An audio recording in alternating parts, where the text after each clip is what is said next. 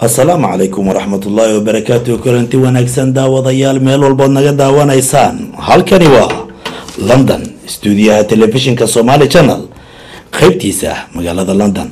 Barnaamij gaar ah oo aanu ku xusi doono arrimaha soomaaliya maanta ka taagan ayaa barnaamijkani waxa uu hordhac u noqonayaa sidee ayaa dowlad wanaag lagu noqon karaa. Amaba dowlad qiimaheeda iyo qaayaheedii ay halkani maaragtay ay ku dhismi kartaa barnaamijkan waxaa igala qeyb qaadanaya doctor zakariye oo ah guddoomiyaha waa guddoomiyaha isbahaysiga dib u xoreynta soomaaliya.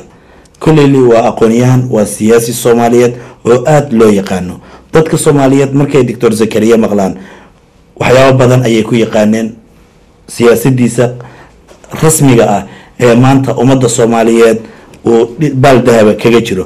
Doctor zakariye waxaan ku leeyahay ku soo dhawo barnaamijkan caawa. Barnaamijkan waxaan ku falanqeyneynaa caawa. Wadankii soomaaliya la oran jiray. Waxa uu xornimada qaatay sanadadii lixda lixdanaadkii kadib markay dowlado badan oo adduunka ka mid a ay qaateen. Dowladihii la qaatay soomaaliya waa dhaqaajiyeen wadankii soomaaliyeed ee annaga aan ka nimid haddii aada aqoon u leedahay maxaa ku dhacay? Bismi illahi raxmaan raxiim waa su'aal su'aal da-weyn oo madaxa daalinaysa haye. Run ahaantii soomaaliya waxay qaadatay calankii u horreeyay soomaaliya waxaa laga taagay magaalada hargeysa iyo burco muxuu ahaa lix iyo labaatankii juun kun iyo sagaal boqol iyo lixdankii. Lixdankii gartay shan beri ka bacdi ama lix beri ka bacdina gobollada koofureed ayaa qaatay xorriyadoodii.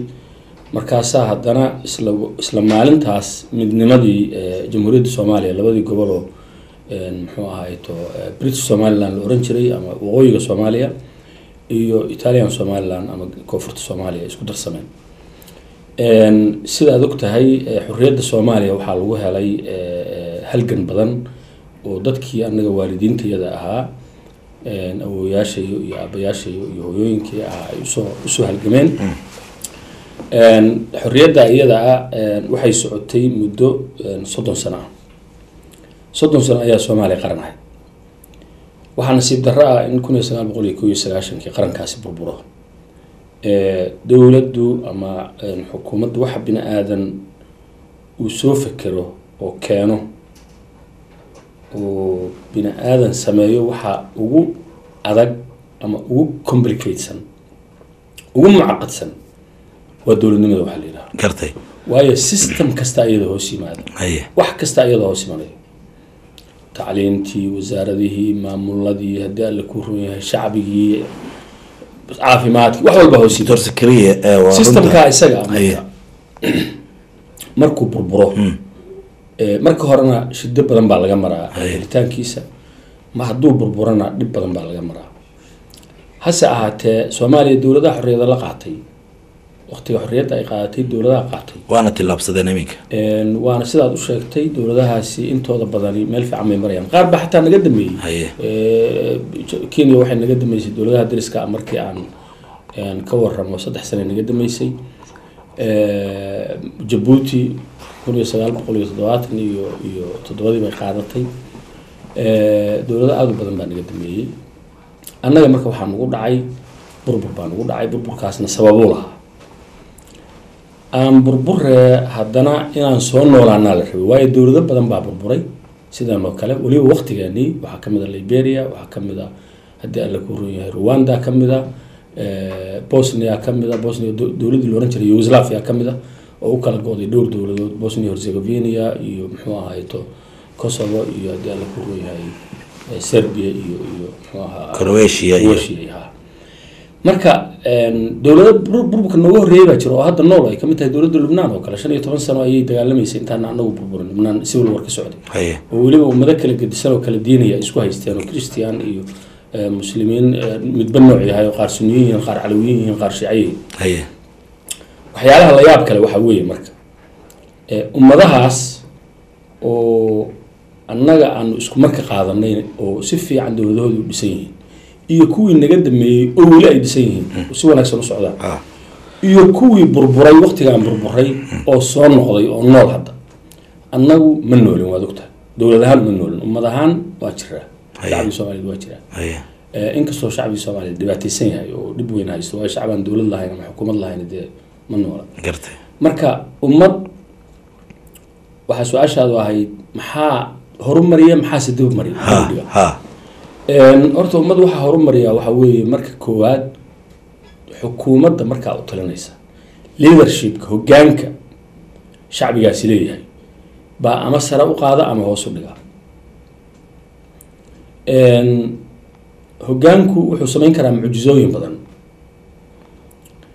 waayo shacbiga waxaa aruuriya danihiisa iyo maamulkiisa hoggaanka aruuriya. Haddii hoggaankaas hoggaan xakiima yahay oo xigmad leh ummaddaas horumar bay samaysaa. Haddii hoggaankaasi hoggaan xun yahan ummaddaas waa burburtaa. Xataa ummado horumarsanaa baa waxay u burburaan hoggaan xun oo qabtay dartiis. Soo maa haye annaka eh, noqono markaynu u soo noqono teenii Ah. xaqiiqadii waxa weeye dad xisbiyadii u dagaalamay xorriyadda. Ah. Ee xorriyaddii ujeedadii koowaad ee xorriyaddu way gaarsiiyeen dalkii. Sida s y l iyo s y l s n l oo waqooyiga ahayd u s b maxaa la yidhahaa u s p miya ahayd ha haye ayagana go- gobollada kale wadankii ka jireen mise geyiga soomaaliyeed oo dhan bay ka jireen? Waxay ka jireen geyga soomaaliya o dhan bay ka jireen. Okay. Dabcan waa tii isticmaalku shan qaybood noo qaybiyey labadii qaybood oo xorriyadda qaadatay oo halka jamhuuriyad noqday markii xukunkii la qabtay waxaa dhacday in aqoon xumo awgeed xisbiyaal badan baa la furay xisbiyaashiina qabaa'il bay noqdeen. Muxuu ahaa manifestooyinkii xisbiyadaasi ay markii hore ummadda ku abaabuleen. Fiiri hoggaanka ahmiyaddu leeyahay. Markii hore waxaa lagu abaabulay dadka in soomaalinimo iyo wadaniyad iyo xorriyad barwaaqo lagu gaarayo calan haddii la qaato. Markii calankii la qaatay dad aan qualified u ahayn ama hoggaan muxuu ahaay run ahaantii eh, la oran karo hoggaan adag weeye ayaa xukunkii muxuu ahaay eh, ku wareegay. Waxyaalo badan baa ka dhimanaa intii tabartooda way dadaaleen. Waxaanu ahayn democracy ugu horreeya africa by the way. Yani eh, dowladda keliya oo laba madaxweyne laba nin tartanta madaxweyne utanta hal cod isku ku kala qaadeen oo ahlan wasahlan is yirahdeen Aadan Aadan cabdulle cismaan allah naxariiste. Iyo Cabdirashiid Cali Sharmaake. Sanadkee bay ahayd? Haddii aad u qeexdo ummadda soomaaliyeed. iyo toddobadii lixdan iyo sideedii bay ahayd baan maray anigu waan yaraa caqli badan ma lahayn laakiin historical waxay ahayd waqtiyadaas. Hayay ahayd. Ayay ahayd ha gartay marka laakiin waxaan si fiican u tii dhacday lixdan iyo sagaalkii oo muxuu ahaa cabdirashiid isagoo hal sano markaa madaxweynaha waa tii la dilay. Mise lixdan iyo sideedii bay ahayd ha muxuu ahaa uu marka prime ministerkii noqday een, maxamed ibrahim cigaal isagana allah u naxariiste madaxweynihiina uu uu markaas inqilaabka watuu dhacay. Annagoo nidaamka dimuqraadiga ku jira laakiin uu naga xumaaday oo qabaa'il xisbiyadii oo dhan qabaa'il noqdeen. Tiradooda ma xasuusto laakiin xisbiyadii markaa wadanka ka furaa aad bay u bateen. Qabiil walbana xisbi buu samaystay. Gartay. Gacaankii eh, ayaa qabsaday dalka. Ciidamadii xoogga dalka soomaaliyeed baa la wareegay. Eh, sidaanu ognahay eh, dhowrkii sano ugu horreeyey eh, dowladda soomaaliya si xoogay u socotay. Sababtu waxa weeye waxyaalaha dowlad laga rabo horumarkeed ayaa ayaa muxuu ahaa eh, eh, wadadaas baa la maray. Waxaa la maray equality dadku inay siman yihiin dadku inay haddii alla ku ronya wax bartaan eh, beeraha in lala soo baxo khayraadka dalka ku jira in lala soo baxo. Eh, barnaamijka wax qabsan la yirahda la sameeyey. Afartii soomaaliga la qoray. eh, abaabul badan eh, muxuu ahayto ayaa la galay. Yacni dowladdii inqilaabka markaa dhalisay ee soomaaliyeed ee madaxweynihii ugu dambeeyey ee wadanka soomaaliya kow iyo labaatanka sano aan xukumayay maxamed siyaad barre. Naxariista janna allah ka waraabiya. Waxaan oran karnaa lixdan iyo sagaalkii markii aanu ka soo bilowno taariikhda. Ilaa kow iyo labaatankii sano ee wadanka joogay kow iyo sagaashankii haddii aad soo koobtid yacni faa'iidadii la gaaray wadanka soomaaliyeed uu gaaray faa'iidooyin badan baa la gaaray laakiin faa'iidadii khasaaraha ka dambeysay weeye eh, waan u soo noqonaynaa khasaaraha laakiin kow iyo labaatankaa gaaray- sano faa'iidooyinka la gaaray waxaa ka mid ahaa annagu waxaan noqonay horta welfare state baan noqonay Haya, Eh, marka anagu ma inaan ogeyn dibadda uma inaan soo bixin laakiin haddaan ogaanay welfare state waxa weeye in muxuu ahaa tacliimtu free tahay waxbarashadu ilaa jaamacad. Gartay hadda waddankan aan joogno jaamacadda free maaha waddankan ilaa iskuolka saraad free ah, ilaa ilaa levelka muxuu ahaa ah lacag la'aan. Haya, laakiin- jaamacadda markaa gashay lacag wey Laakiin anagu ilaa jaamacad lacag la'aan baynu ahay. Free bay u ahayd. Free bay u ahayd gartay caafimaadku free bu ah wadanka soomaaliya. Soomaaliya. Infrastructure badan baa la dhisay airborro ka mid yihiin jidad ka mid yihiin isbitaallo. isbitaalla ka mid yihiin mashaariic waaweyn oo police. warshado iyo beere ka mid yihiin ciidamada muxuu ahay la badiyey xoojiyey. Gooladayaashii. Arrintaas marka goor dhexe dhowrkii sanoo hore markay sidaa ahayd dhibaataa dhacday. Waxaa dhacday in nidaam aanaan anagu garanayn oo nidaam shuuci ah oo diinta islaamka dadka soomaalidu islaam weeye in lagu dabaqay dalkii soviet union baa muxuu ahaa markaas dowladda soomaaliya la ahayd saaxiib la ahayd sidaynu ognahay. Sabab buuna ku yimid oo cabdirashiid cali sharmaarka allah naxariistee ayaa dowladdiisiibaa sabab u ahayd iyo aadan cabdulla cismaan waayo reer galbeedku xukunka markaan qaadanay eh, xorriyadda qaadanay waa diideen inaan ciidan qaran yeelano. Iyadoo la dhowrahayo dowladaha etoobiya iyo kenya oo aan darisnahay oo dalkeennii qaar la siiyey inaanaan awood ciidan yeelan. Marka eh, dowladdii cabdirashiid madaxda ka ahaa iyo aadan cabdulla cismaanna madaxweynaha ka ahaa ayaa go'aansatay inay soviet union en, la xirtaan oo ogolaa in ciidamo qaran laynoo dhiso sida taariikhdu nagu soo gaartay sidaas wey gartay marka waxaa dhacday rabshadii ugu horreysay waxay ka bilaabatay markii aayaddii muxuu ahaa nise ku jirtay oo dhaxalka muxuu ahay horta inqilaab baa fashilmay. Inqilaabkii dad baa la qabtay waa tii la laayay dheel iyo cabdiqaadir dheel iyo muxuu ahaa salaad gabayre iyo Ciro maaha ciro waa ka dambeeyey ninka la yiraahdo muxuu ahaa saddex nin bay ahaayeen oo iyaguna kacaanka wax ka dhaliyey Okay halkaas laga soo bilaabo waxaa bilaabatay kala daadashaa bilaabay qaranka soomaaliyeed inuu kala furfurmaa bilaabatay. Waxaa ku xigtay muxuu ahaay to markii eh, rabshadii aayadihii qur'aanka ahaa shidadoodii dhacday culimadii ay, eh, la- toogtay waxaa ku xigay dagaalkii toddobaatan iyo toddobadii oo kan aada dabarka nooga jabiyey ahaa. Ee lala galay etoobiya Eh, lala galay. Dagaalkaas aad iyo aad baa runtii ah, dhaawac weyn nooga soo gaaray. Waxaana sababtu ahayd soviet union oo nala jiray baa etoobiya aaday siyaasaddaanu failure ku noqonay. Ciidan ahaan marka hore waa guuleysanay laakiin waxaan damacnay inaanu iyadoo dagaalkii socdo baan soviet union cayrinay. Eh, maraykanka oo ah xiriir markaa dowlad la samaysanaysay dabcan waqti dheer bay u baahan tahay. Oo aanaan isku hubin. Marka waa la keentay. Mike soviet union. Ah. sababta uu soomaaliya oga baxay oo etoobiya uu u doortay marka maxaad u malayn kartaa ma sababo badan bay ahayd. Waxaa ka mid ahaa laakiin xukunka dadka hayay baa markaa waxaa laga rabay in si xigmada arrinta tan ay u. Eh, markiiba waynu cayrinay soviet union cayrintaasi waxay keentay in muxuu ahaayeto uu la soo saftay etoobiya in uu greenlight siiyo xulafadiisii oo ay kuba ka mid ahayd oo toddobiyo toban kun oo ciidana keentay. Isaga laftiisu intaasoo brigeed inuu keeno yaman oo yamanta koonfureed oo shuuca intaasoo brigeed keento ciidamadii soomaaliya oo guuleystay iyo shacbigii soomaaliya oo guuleystay inay soo jabaan. Halkaa weeye meesha furfurashadii qaranku ay ka bilaabatay inqilaabyaha ku xigay jabhadaha ku xigay dibadda laga soo abaabulay qarankii soomaaliyeed lugooyadu halkaasi ka bilaabatay. Kabacdina maamulkii waa kala daatay eex baa dhacday dhibaatooyin badan baa dhacay. Kasoo tag halkaas burbur baa ka dhacay. Burburkaas ummadda soomaaliyeed ku dhacay. Baa waxaa la rabaa marka inaynu xoogga saaro xalaqada tan sidee looga kaban karaa? Looga kaban karaa. Maxaa xal ah? yacni caqli maaha kow iyo labaatan sano ayaan hadda maraynaa. Oo aan burbursannahay haye. Inaanu sii burburo maalin walba. Fiiri kow iyo sagaashankii waxaa burburay statekii soomaaliya. Qarankii soomaaliya burburay. Dowladnimadii waa burburtay. Muddo markii xididada loo siibayay dowladnimadaas oo la kala tegay oo dadkii islaayey ayaa hadda waxaa taarget ah ummadnimadii soomaaliya. Waxaa jira state iyo nation ummad iyo dowlad ama qaran eh, ama xukuumad. Qaranka ama dowladnimada ama stateka waxaa sameeya bini aadamkaa sameeya waxaana ku heshiin kara dadaan isku dad ahayn isku luuqad ahayn isku af ahayn isku ma garanaysaa eh, diin ahayn isku jinsi ahayn.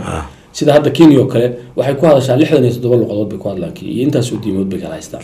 Ethiopia waxay siddeetan iyo dhowr luqadood bay ku hadashaa haddana waa state state jiro wey ummaddu waa ka duwan tahay ummaddu waxa weeye ilaah baa sameeya. Haye ummad waxaa la yidhahdaa intii isku dhaqana isku diina isku afa isku cultura isku taariikha Annagu sidaa ay tahay ayadoo sidaa ay jirta inaan isku afnahay isku dhaqnahay isku diinnahay hal midab nahay yani wax walba hal inoo yihiin. Maxaa iminka waktigan aan ku jirno? Kow iyo labaatan sannadood maxay dhibaatada noo dhex taallaa waxaa maqan eh, xalaqadii hore waxaan ku sheegnay ahamiyadda uu leeyahay hoggaanku. Hoggaankii xikmadda u lahaa arrintaas inuu isku duwo oo dhibaatadaas xalliyo taagan oo dhibaato aan yarayn ah laakiin hoggaan xallin karo ayaa maqan. Maxaa hortaagan iminka in ay dadka soomaaliyeed iyo ummadda soomaaliyeedba ay horumarto oo hor u socoto oo muslim baan nahay soomaali baan nahay isjecel isku dhaqana isku diin ah. Maxaana hortaagan waa kuu sheegay waxa weye hoggaankiina waa maqan yahay. Eh, dabcan adigu dal muhiim aa tahay sidaan hore ugu sheegnay oo oo muxuu ahaa eh, meel muhiima ku yaalla istaraatiiji macnaha istaraatiijiga. haye. Dowladuhu dan bay kaa leeyihiin dowladda ugu yar adduunka xataa dan baa laga leeyahay marka adigu haddaadan lahayn awood dowladeed ama maamul dowladeed oo midaysan aadan lahayn. Dowladuhu faragelin bay kugu sameynayaan. Haddaa la socotid jabhadihii dalka soo galay oo dhan oo muxuu ahaa burburka sababta u ahaa oo qabaa'ilka ahaa kulligood banaanka laga soo adisababa laga soo bay ka- ka soo bilowdeen qaar london baa laga abaabulay qaar ah, roma lagu dhisay qaar adisababa lagu dhisay. Kulligoodna dagaalka waxay ka soo galeen dhinaca etoobiya marka arrintaas baa keentay in annaga faragelin shisheeye oo toos ah mar walba ay nagu jirto. Annagiina awood aan u yeelan weynay war wax kalenta iska dayno aynu muxuu ahaayeto annaga lugaheenu ama timaheenu dhinaca u xirmeen. Mithaal baan ku siinayaa. Haye haddii dadku iyagu wax ku tashadaan waa u meel maraysa gobollada hadda degan oo gobollada dalka degan oo relatively yani markii loo eego kuwo kale baa degan waxay u badnaayeen gobollada samaystay maamul hoosaad aan muxuu ahaayeto dadkan ajnabiga ahay faragelinin. Laakiin dadkii madaxda ka noqday baa ajnabigii laga laga fileeglayahay maalin walba waxay rabaan inay ku haystaan ajnabi dadkii. Goboladii nabadda ahaa goboladii nabadda ahaa eh, waayo kalsooni baa maqan. Waxaa la rabay oo laga rabaa dadka soomaaliya hadda siyaasadda ku jira ama maamulada haya. Marka ugu horeysa ninka hargeysa jooga iyo ninka gaalkacyo jooga iyo ninka xamar jooga iyo ninka baydhabo jooga kulligood soomaali wey bal wixii mushkilada oo u baahan constitutional. ama dastuur ama xeer u baahan waxaa laga hadli karaa markii nabad la helo horta dadka inay nabadeeyaan baa laga rabaa number one. oo problemka kan isku duulidda iyo xoogga iyo qabqabta iyo dilka ah. la joojiyo la yihahdo war nabad baan idinkugu baaqnay hal ummadaa tihiin eh, waxaa tihiin ummad eh, walaala abaa tihiin diinta islaamka caqliga bini aadamkuba xaaraan wey in la islaayaa. Ayagii baa marka mushkiladii qeybtii ugu weyneyd Dr. dhinac dhinac waxaa weeye faragelintii shisheeye oo lagu martiqaadayo dalkii eh, dad ajnabiya Eh, dhinacna waxa weeye dadkii oo loo qaybinayo qabaa'il. Maalan qabyaaladda qabiilku waa jiraa laakiin qabyaaladdu waxay la- waxaan ku mathalay statistikada boqol nin oo hal meel wada degan hal guri ku wada jirta oo ku tashatay oo wada saxiixday inaan ninna nin ka badbaadin. Probabilityga cilmiga statistikada ama xisaabta statistikada uu qof ku noolaado waa meeqa marka. Boqolkaa nin nin walba meequu ku noolaan karaa meequusa ku dhiman karaa. Wuxuu ku noolaan karaa one percent wuxuuna ku dhimanayaa ninety nine percent boqolkiiba sagaal iyo sagaashan. Waayo sagaal iyo sagaashan qof oo kale oo isku meel degan yihiin baa waxay heshiis ku gaareen inay islaayaan. Marka hal qof baa soo hari doona soo maha Ha. qofkaasaa badba- qofkaasaa badbaadaya. Haye marka qabiilku waa sidaas wey ama qabyaaladu sidaas wey waxaa loo baahan yahay marka annaga hadda barnaamij baan propose garaynay aan wadnaa gobollada tan iyo qabaa'ilada tan calamada qaatay. Een, waxaan u propose garaynay inay sameeyaan mashruuc ay isu imanayaan oo loo lagu dib laysugu soo celinayo dadkii Eh, waxaan u bixinay usra mashruucaas united somali regions authority ama eh, gobollada soomaaliyeed oo midoobay. En, marka meelay hadda arrintaasi ka bilaabatay eh, waxaan rajeynaynaa inay guuleysato arrin kalaa jirta oo loo baahan yahay in la fahmo. Haddii adiga aada waddan ku taalid oo waddankaas gobol ka mida aada joogtid ama magaalo ka mida aada joogtid oo magaalada kugu xigta ama qeyb magaalada ka mid ah aysan nabad ahayn adigu nabad ma ahaan kartid. Haddaysan raashin haysan adigu wax ma cuni kartid. Haddaysan caafimaad haysan adigu caafimaad ma heli kartid. Waayo waddanku waa hal jismi hal hal qof baa lagu tilmaamaa. Qof marka fare xanuunayso ama madaxu xanuunahayo ama dhega xanuunayso ama il xanuunayso lugada intiisa kale waa dareemaysaa. Ma caafimaad qabto soo maa marka waxaa la rabaa inay gartaan dadka hadda hawshaas ku jiraa in qoloba qolada ay dariska la tahay. Horta la isu yimaado. Nabad dadka la dhex dhigo. Kow la yidhaahdo nabad baan ku baaqnay dagaal maya. Dagaal waa lagu dhammaaday kun iyo sagaal boqol iyo toddoba iyo toddobaatanki ilaa maanta wiil soomaaliya dhimanayay gabar soomaaliya. Soo ma? In dagaalka la joojiyo. In la yidhahdo xaaraam weeye qofka dhiigga qofka soomaaliga dhiiggiisu waa xaaraam qofka dembiga gala maxkamad baa la soo taagaya sharci baa lagu qaadaya. Labo political process markaa in la galo wadahadal siyaasadeed. Oo wax qaybsi leh oo maamul leh oo xeer leh. Ma garan kara anigu weligayna ma arag mana maqal taariikhda waddan xeerkiisa banaanka lagu soo sameeyey oo dad ajnabiga u soo sameeyeen xeerku ku dhaqmi lahaa ummadaasi xeerkay ku dhaqmi lahay waxyaalaha soomaaliya cajiibka oo uni uniika ah oo ay la deglaaya waxaa ka mid ah. Ha shirar baa la abaabulahayaa niman baa loo yeerahayaa waxaa la leeyahay hebel iyo hebel iyo hebel gobol hebel ka imow tuulo hebel ka imow reer hebel reer hebel ka imow. Meeshii banaanka ahayd oo aan dalka soomaaliya ahayn baa waxaa lagu dhisayaa dowladdii ummadaasu lahayd. Madaxweynihii ra'iisul wasaarihii eh, xukuumaddii ama ama golihii wasiirada barlamaankii dastuurkii dalka ku dhaqmi lahaa. So waxaa damaa diyaarad lagu soo qaadahaya. Hab meel soomaaliya ka mid a lagu soo dejinahaya anaa madaxweyne maxaa maqan marka oo aan la garan? Dowladnimadu waa lahaansho dadkaa iskale ownership wey shacbigaa iskale haddii anoo lay garanayo inay hebelow soomaaliya inta banaanka aan isku soo abaabulo anaa idin xukuma liiga yeeli maayo. Waxaa loo baahan yahay dadku inay waxooda loo soo celiyo haddii la rabo banaanka ha lagu soo shiro marka hore ha laysku soo afgarto. Laakiin inta dalka gudihiisa la yimaado dowladdii in lagu dhisto yaa loo baahan yahay. Oo shacbiga soomaaliyeed ka qayb galo. Dadka ishaya hadday rabaan banaanka isku soo arkeen. Laakiin oo siyaasiyiinta ah muxuu ahayto laakiin dowladnimada shacbigaa iskale shacbiga in loo soo celiyo halkaa go'aan lagu gaaro shir weyne lagu qabto halkaas tuulo dalka ka mid a xoolaan leenahay arigayagaan qalanayna geelayagaan qalanayna caanaha muxuu ahay tolodayadii geeligay arigayaan cabayna halkaa marka in eh, lagu maxaa la rabaa marka? Taas looma jeedo. Waayo dadka hadda siyaasadda ku jira intooda badan waxay u arkaan taa haddii la sameeyo inay dhuminahayaanin oo aysan waxba heleynin nin baa berigii aan eh, xabashadu qabsatay etoobiya dalka qabsatay Ah. Ismare aan joognay. Nin ka mid ahaa madaxdii isbahaysiga. Baanu iska soo raacnay. Asmare dubay baa nimid.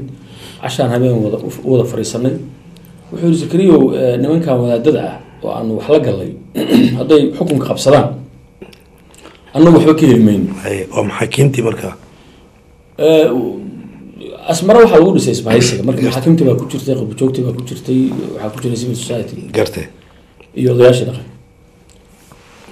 marka ma kula tahay so inama fiic wax wax xiriiraan sameeyey buu yidhi meeshaani aan ku noqono t f g da aan heshiis la galno eh, intaysan waddanka qabsan. Ha ayadoo xabashadu dalka haysato aan wada hadal gallo xukunkeena inaan ku noqono annagoo xildhibaanaanahay weliba isagaa madax noo ah waxaan ku yidhi eh, haddaynu xukun rabno dee baydhaweynu joogi lahay annagu waxaa halkaana keenay waxaa weeye qiiro wadaniya inaanu dalkayaga cadowga qabsaday kala dagaalano marka ciddii hadhowta xukun qabsanaysa shacbiga soomaaliyeed baa hadday wax xumeeyaan la xisaabtami doona annaga xukun ma inaan iman meesha. Marka hadalkaas anaa kaa maqlay mar dambe yaan kaa maqlay. Waa kaa maqan saasaan uga tegay laba bilood ka bacdina sidii aan sheegayay uu yeelo jabuuti buu ninka fariistay. Marka wax kale maaha problem. Haya. waxa weeye qof aan isku kalsoonayn oo raba ummadda waxeedii in uu ama nin ajnabihii siiyo oo nin ajnabihii xoojiyo isaga ama corruption iyo lacag xukunka ku yimaado. Soo maha meel la xukumaana ma jirto. Maqabriyadaa la xukumaya? Waxaa marka loo baahan yahay hadda waxaa taarget ah sidaan kuu sheegay waxaa xididada loo siibay dowladnimadii soomaaliya. Taargetku hadda ummadnimadii soomaaliya ku socdaa inaanaan waxba isu ahayn baa laga shaqeynaya. Oo calama aan kala yeelano adigu kan uma baahnid addis ababa ku xiran? Adigu kan uma baahnid nairobi ku xiran? Adigu kanka walaalkaaga uma baahnid waxaad ku xirantaha muxuu ahaa kambala ku xiran? Halkaasaa wax marayaa nin halkaasina wax suurtoobaya ma waa dabar go'aynaa waa baaba-aynaa Eh, haddii alla ku roon yahay ummado dhan baa baaba-ay oo sidaa haddii lagu socdo waa la baaba-aya. Eh, ummadihii america boqol iyo toddobaatan milyan deganayd baa lagu tilmaamaa dadka reer indianiska la ohan jiray ama la dhihi jiray muxuu aha anagu waagaanu carruurta ahayn filimada eh, kaaboyga ahoo eh, eh, maraykanku suu u laayay dadkii indigenouska dalka deganaa Ah. cali baysteen baan dhihi Haya. dadkaasi dad badan bay ahaayeen waa baaba-een dad dalka dibaddiisa ka yimid oo yurub ka soo qaxay baa qabsaday oo laayay. Annagu sidii baan ku soconnaa. Kow malaayiin baa ku jirta xeryo qaxooti iyo bannaanka. Waa dhumahayaan kuwaasina kuwa gudaha joogana waa dhumahayaan mas'uuliyaddaas waxaa qaadahaya ilaahay hortiisa iyo ummadda horteeda dadka hadda siyaasadda ku jira. Waxaa loo baahanyaa marka in caqligu soo noqdo dalka kan haddii ummadda soomaaliyeed ku heshiiso oo dowlad ay hesho oo hoggaan fiican hesho hoggaanka fiican ama good governansiga waxa la yidhahdo markaan ka hadalo waxa weeye inuusan corrupt ahayn yani corrupt waa musuq maasuq. Musuq maasuq. inuusan ahayn. Waxaa ka mid a in lala xisaabtamo oo wax cad barnaamij cad uu dalka ku wado transparency waxa loo yaqaano yani in wax mugdi ku jira aysan jirin. Waddadaasaan qaadaynaa ahlan wasahlan ummadda soomaaliyeed maxaa dan u ah? Laga laga tashado waddada la qaadahayo. Waxaa ka mid a in uu ku yimaado nidaam ummaddu ay raalli ka tahay. Oo ama shuura ah ama Haya. soo ma xoog wax lagu qabsaday. Xukun xoog lagu qabsaday ma daaho sidiisaba. Waayo berri kaad ka qabsatay baa kaa qabsanaya waa exactly waxa ku dhacay kacaankii wey annagu xukun dambe xoog lagu qabsado tabar ma hayno cycle violence ah oo maanta hebel baa iga qabsaday aan ka arsada aan arno tabar uma hayno shacbiga soomaaliyeed tabar uma hayo. Waxaa loo baahan yahay in la wada hadlo. Tuulooyinkan iyo degmooyinkan iyo magaalooyinkan waxaa magaalo yar oo ay degan tahay boqol kun oo qof ama konton kun oo qof.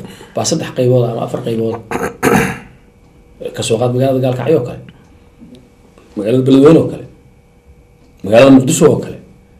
Yani waa mushkilo waa musiibo waa dadkii ehelka ahaa wada deganaa walaalaha ahaa habaryarta iyo eedada iyo adeerka iyo ilma adeerka iyo xididka iyo xigaalka isu wada ahaa wey baasaa isu qaybinaya waxa waxaas yeelayaana waa waa hogaanka wey haddii hogaan fiican jiro dadkaani dad wax ka dhexeeya ma jiraanin. Haddii waagi hore laysku laayay cafallahu camaa salaf intii tagtay waa tagtay inta nool hala caymiyo caanadaasi dabadooda la qabtaa ayagaa laga rabaa hogaankaa laga rabaa arrintaa mas'uuliyadda. Qofkaan mas'uuliyadda qaadi karana hogaan maaha doctor zakariya aada iyo aad baad u mahadsantahay. Weli anagoo ku guda jirna een, arrimahaasi muhiimka ah ee ah, qiimaha badaneed ka soo sh- sheekeysay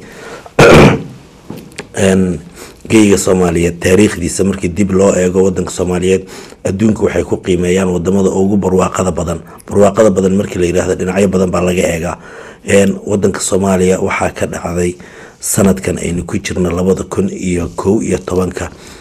Wax ayna taariikhda dunida arag oo gaajo ah oo la yaabay. Yaa ka mas'uul ah ayaad is leedahay dhibaatadaa dhacday ee ummadda soomaaliyeed sanadkan ku habsatay horta sanadba sanad waa ka sii daraysaa dhibaatadan ilaa kow iyo sagaashankii bay soo socotay.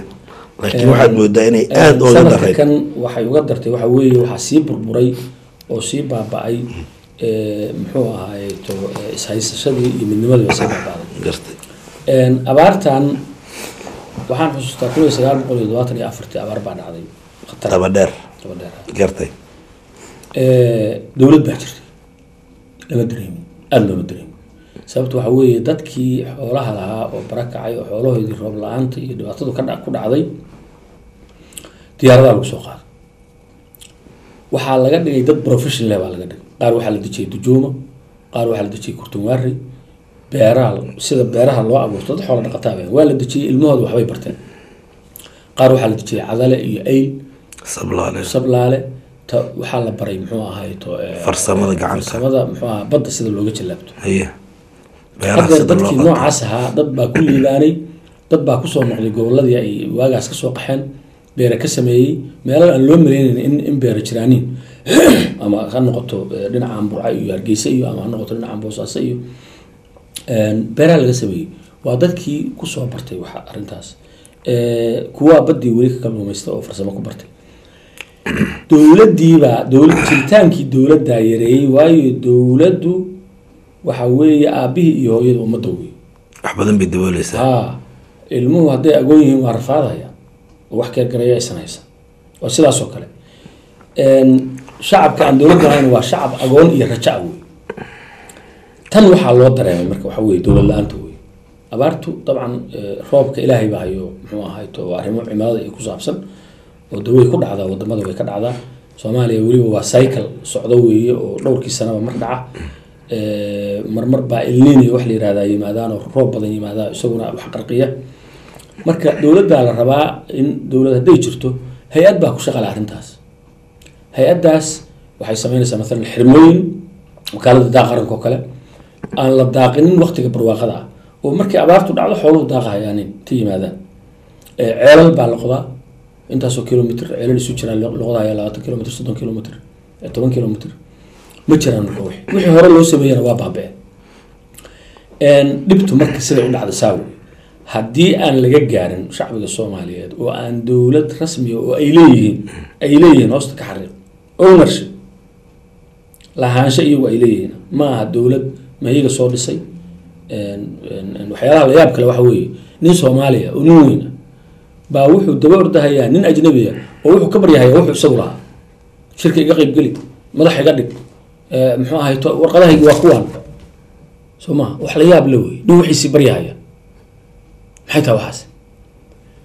Soomaaliya lagu arkay arrinkaa isaga. Soomaaliya artaa lagu arkaa Ah, nin baa dubay baa nin makhaayad isugu soo galay markaasuu aqoon markaasuu yiri war soo sikariye maadaa war adiga meelaha intaa ororday sida warwareegay sida idaacadaha iyo telefishinada ka waa addis ababa tog raggii kula fiic ahaayo eh, muxuu ahaa aqoonta lahaayo b h d yada iyo masterska haystay.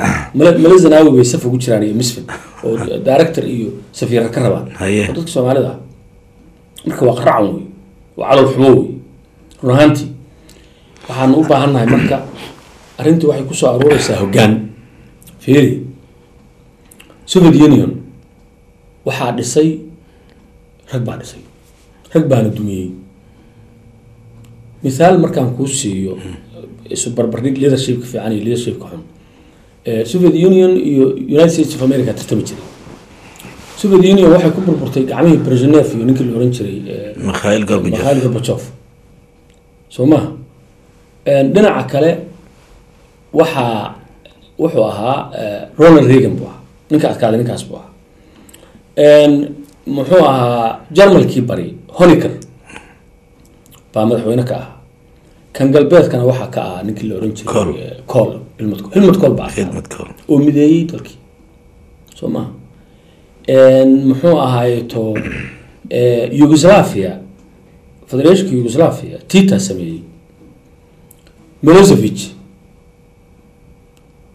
Milosevic ninkii la oran jiray hadda ayaanta dhaweyd ku dhintay heeg hee ku dhintay. Ha baa burburiyo gacmihiisa ay ku burburtay soo maha good leadership iyo bad leadership oo kaa caalam alislaami soo qaado Maxam- maxamed mahatir doctor maxamed mahatir Xukunka qabtay mahatir maxamed malaysia. Malaysia markuu qabtay. Ah. malaysia waxay ahayd dowladda boqol iyo labaatan iyo lixaad xagga dhaqaalaha biliis kaga jirta dunida. Yacni waxaa ka horreeyey boqol iyo labaatan iyo shan dowladood baa ka horreeyey labaatan sano hayay weliba iyagoo civil war ku jiru yimid oo ishaya oo aada u dagaalamaya wuxuu ka tegay iyadoo economiga lixiyo tobnaada eeg intuu ka soo booday. Wuxuu ka soo booday boqol iyo toban dowladood ka soo bootiyey soo maha sadaam xuseen fariisay ku burburtay.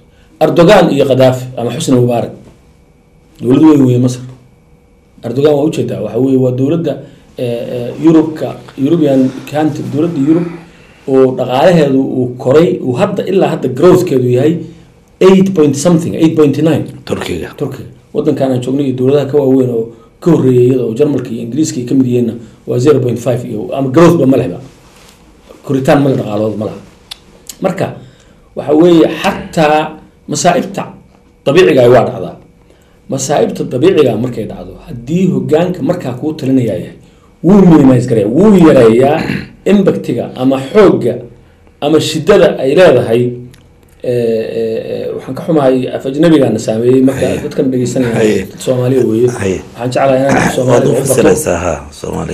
yacni hogaanka wanaagsani haddii dhib dabiici ay dhacdo ama roobab daadad wata ama ay dhacaan dhulgariir dhaco ama haddii alle ku roon yahay ay musiibo caami dhacdo cudur dhaco caama wuu yareeyaa wuu yareeyaa inta ay gaarsiinayso dadka dhibaato arrintaas.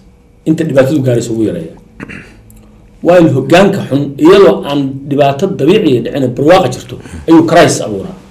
Bush madaxweynaha maraykanka hadda ninkan ka horreeyey dowladda maraykanka wuxuu gaarsiiyey shacbiga qof kastoo maraykana in adduunka laga naco laga nabcaad u gaarsiiyey maxaa keenaya waayo wuxuu ahaa hogaan xun buu ahaa. Meel walba dagaal buu ka riday. Shacbigii maraykanka xorriyadiisii buu xayiray. Ummado dhan oo islaamuhu yiri waa waa argagixiso kulligood. Uusan kala reebinin. Marka wakaa hogaanka ayaa sabab u ah meeshaynu naallo hogaan xumaana dhigtay. Waxaan kaloo kuu sheegaya waxyaalo waxaa jira waxaan waxaa la gaaray hogaanka xataa in laynoo dooro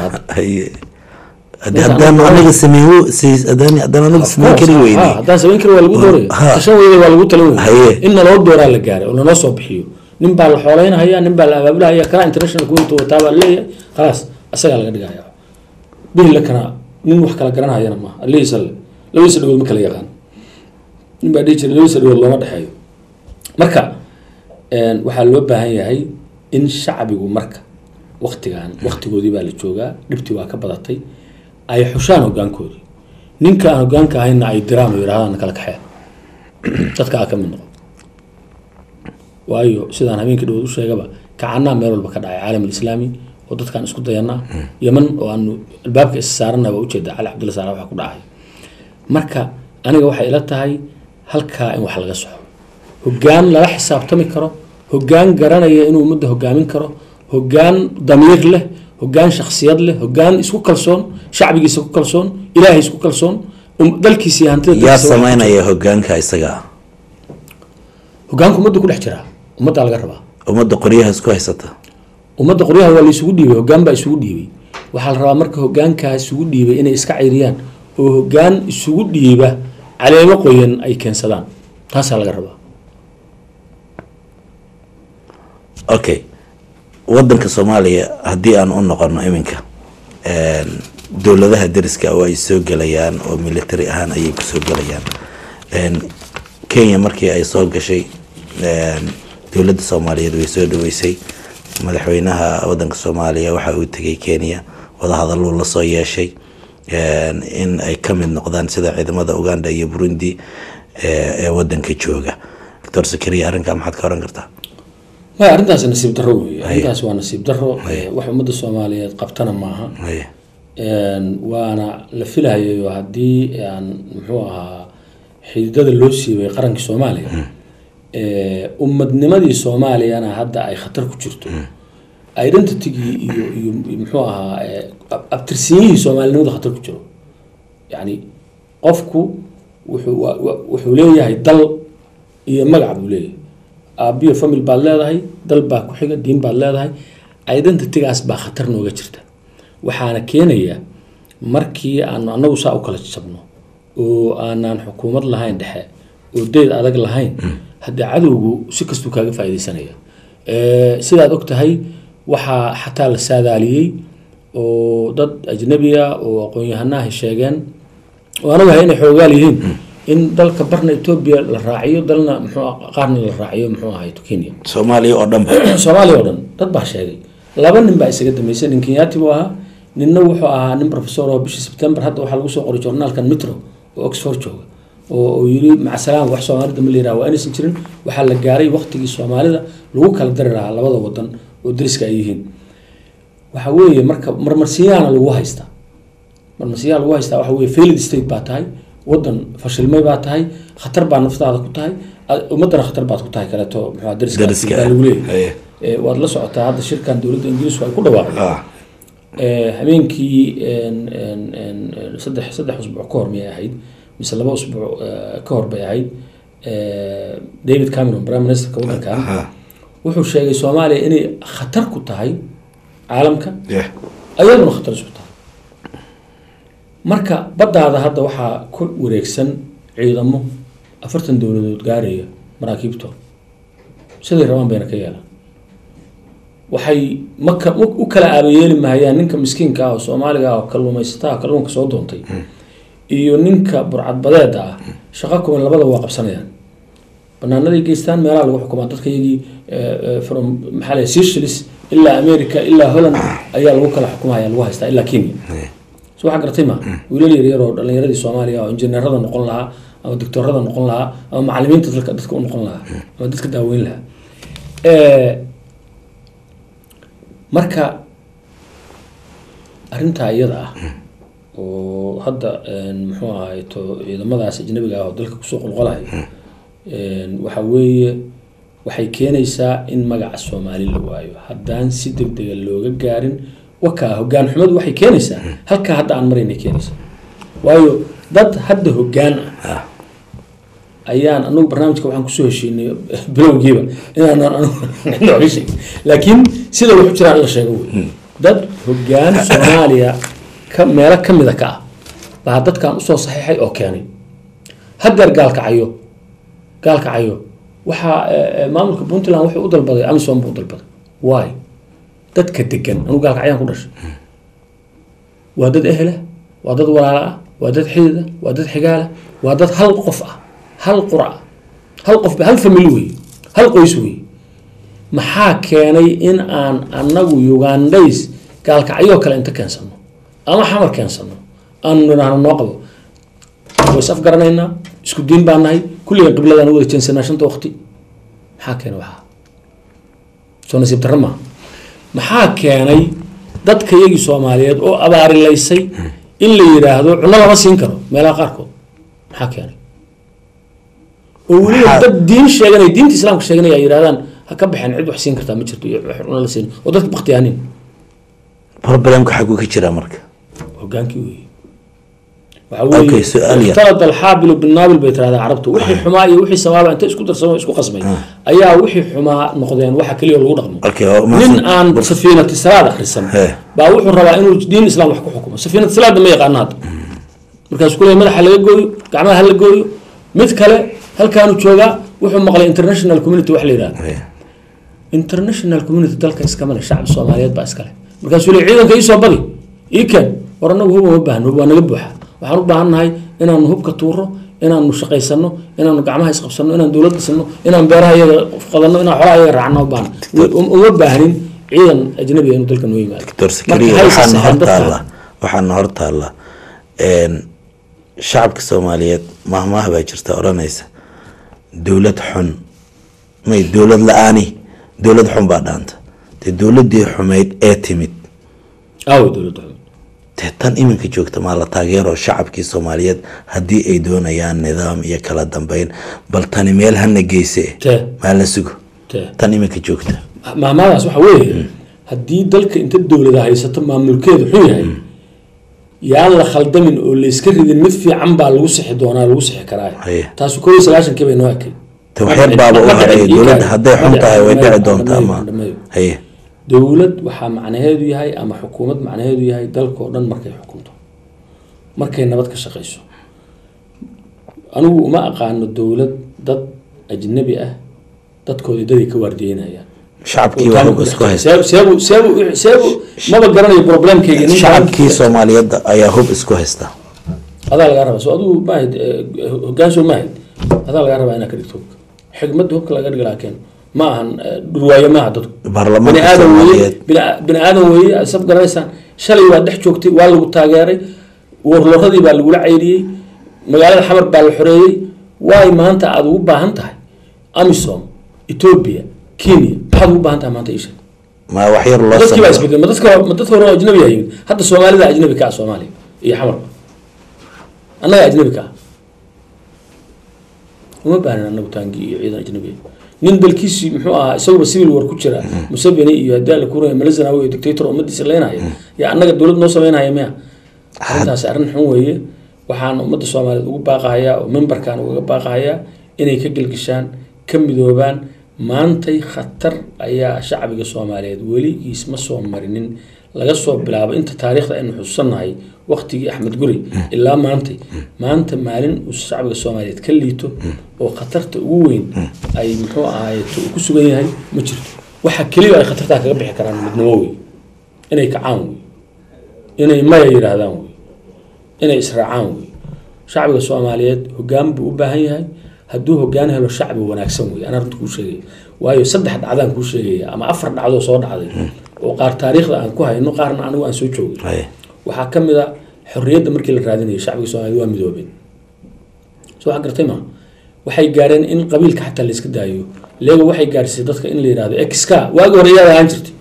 Hadda maaha from muxuu ahaa laga soo bilaabo jabuuti meesha ugu shishaysa ilaa gaarisa ilaa haddii alla ku run yahay muxuu ahay juqood iyo haddii alla ku run yahay herar ha. inaa halkaa martida aan lagu wareysan ciddaa tahay. Qof soomaali ah yaa gaarsiiyey halkaa internet ma haysan t v ma haysan radio ma aysan haysan. Leadership baa gaarsiiyey. Waa midoobeen ummaddii ayagoo mid ah bay lixdankii expectationkooda wuxuu ahaa waxa dadka loo mooyey inay barwaaqo gelahayeen barwaaqadii bay waayeen. Waa tii la kala daatay. Lixdan iyo sagaalkii dhacdada labaad waxay ahayd militarigu markay dalka qabsadeen ummadda soomaaliyed way israaceen isbitaaladooda iyagaa dhistay. Iyagaa muxuu ahaay to haddii la ku runyay iskuulaadkoodii dhistay waad ogeed barnaamijkii isaga wax u qabso. Waa yareed baan u ma malaynaya waa la socdaa waxba iska waxa qabsan ku soo bartay. ummadda samaysatay wax walba oo dhisatay. Mid bay noqdeen. Ilaa laga baxay wixii loo ballan qaaday. Manifestadii loo ballan qaaday ilaa ay ka noqotay dowladdii markaa jirtay shacbiga soomaaliyeed tii ku xigtay waxay ahayd markii xamar loo midoobay warlorada. Markii afraadna waxay ahayd markii etoobiya dalka soo gashay. Mid bay noqdeen farquray noqdeen. Xataa dadkii isdilay waa iloobeen inay isdilaan dad baa ka soo lugeeyey muxuu ahaa hargeysa oo noogu yimid asmaro noogu yimid. Ilmeynaya. Marka waa shacbi u baahan hogaan laakiin waa shacbi isku mid a wuxuu yahayna wuxuu isu yahayna og.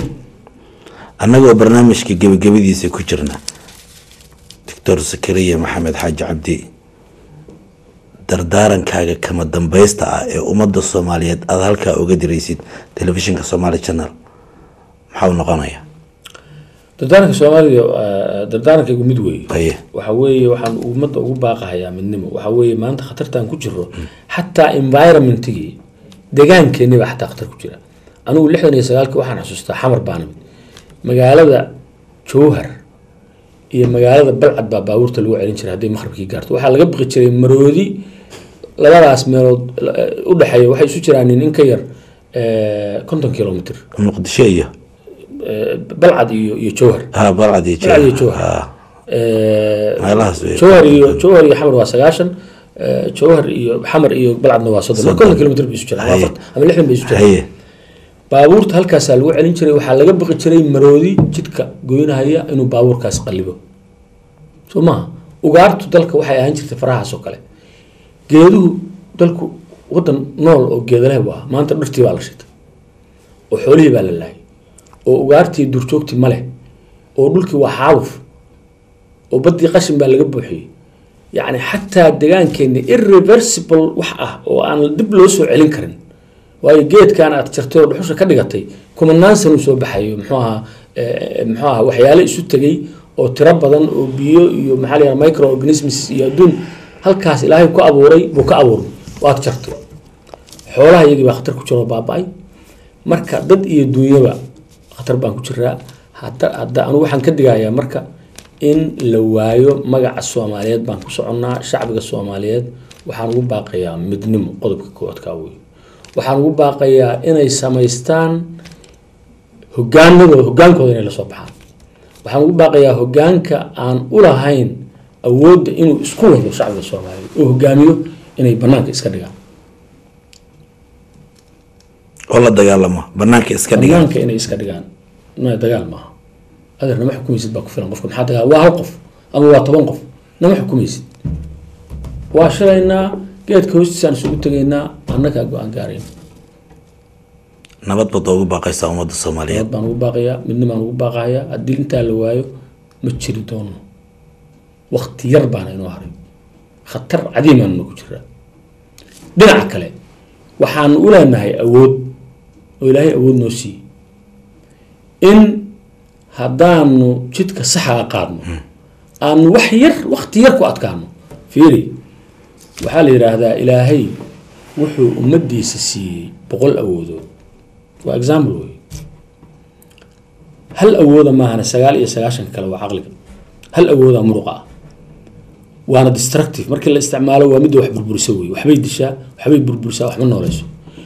Sagaal iyo sagaashankii awoodood oo caqliga ahaa baan inta sanduuq ku xiray baanu kow iyo labaatan sano muruq kaliya isticmaalayna hal awoodaan isticmaalayna oo tii ugu xumayda sagaal iyo sagaashanka kalena waa xayir. Fiiri afkaynu ku hadlayno caqliga caqligaan ku baranay famil caqligaan ku samaysanay. Tacliinta caqligaan ku baranay jidka caqligaan ku maraa iyo indhaha yaga haddii marka caqli la waayo oo muruq kaliya la isticmaalo waa dhumaynaa waktigii caqligaa la gaaray waktigii muruq waa dhammaaday aragnay muruq iyo qaybsanaan iyo qabyaalad iyo dabadhilifnimo aragnay meeshayna geysay hogaan dabadhilifa shacbiga soomaaliyeed inuu intaa garto wey waxaan ilaahay ka rajaynayaa in intaas inta la garto isbeddelka ka dhacay agagaarkeena caalam alislaami mid la mid ah oo ka qiimo badan oo haddii aynu midowno oo aynu hogaan fiican helno waa ka barwaaqo badannahay wadamadaas waxaan kuu sheegayaa laba mathaal baan ku siinayaa. Labadii kun iyo labadii baan xusni mubaarak anoo wasiira waxaan u geeyay warqad. Markuu soo galay oo salaamu calaykum yiri buu yiri yaa jamaaca leesh maa taqifu xataa tusaaciduuna? Antum aqniyaa wa naxnu fuqaraa. Ba af carabi gu yiri. War maxaad u istaagi la-dihiin aada gacanna siisaane waxaad tihiin dad qani ah anaguna fakri baan nahay. Waa madaxweynihii masar. Dabcan masar waa dowlad weyn. Intaasoo culamaa bay leedahay. ayada- wuxuu og yahay wuxuu og yahay soomaaliya barwaaqooyinkii xalaqadan xalaqadii ka horreysay aan ka sheekeeyey He. inay inay leedahay buu ogyahay markaas waxaan ku iri fakaamat rais awqafuuna xataa nusaacidukum. Na istaajiya si aanu idiin saacid mid taasay ahayd haye midna waxay ahayd nin amiira oo reer cabdicasiisa mar raba magaciisa inaan sheego oo madaxda ku jira sacuudiga. Oo hadda weli xijadii haysta. Ayaa riyaad wuxuu u yidhi yaa zakariya ma og tahay inaan anaguna fakri nahay markii idinka laydin eego idinkuna aqniyaatiin waxaan ku yidhi kayf ya samuel amiir soo dhici karta arrintaas.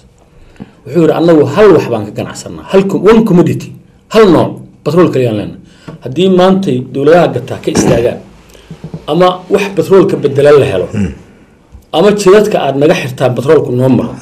Idinka soomaalida ah. Waxaad waa bakteynaa kulligay laakiin idinku xoolaa haysataan oo beeraha haysataan oo bad baa haysataan weligiin baa noolaanaysaan ma ogtahay buu yidhi dagaal labaatan sanaad wadaan dowladaha waaweynay shan sano ayay ku burbureen dagaalkii labaad adduunka. Waxaa dagaalka u wadaa waxa way khayraadka agtiina yaalo wiilku markuu xabadda ridahayo oo gaajoodo inta tagu galaas caanaa soo cabaya ama orgiba soo qalanaya marka aad- leenahay nagu yar awgiis doctor zakariya maxamed xaaji cabdi. Maxamuud Xaaji Cabdi. runtii halkan kuma soo koobi karayno taariikhda iyo aqoonta dheer iyo siyaasadda qiimaha badan ee aada haysid ama kaa buuxda si ay ummadda soomaaliyeed ay kaaga faa'iidaystaan iyo da-da hadda soo koraysaba doctor zakariya anigoo ku hadlaya magaca telefishinka aada iyo aad ayaan kaaga mahad celin doonaa. Barnaamijkeenana wuu inoo sii socon doonaa. Xalaqooyin badan baanu haddii ay baraalli ka noqdo aan samayn doonaa. Anigoo cabdirashiid ilaala waxaan idinku dhaafayaa sidaa iyo asalaamu calaykum waraxmat ullaahi wabarakaatu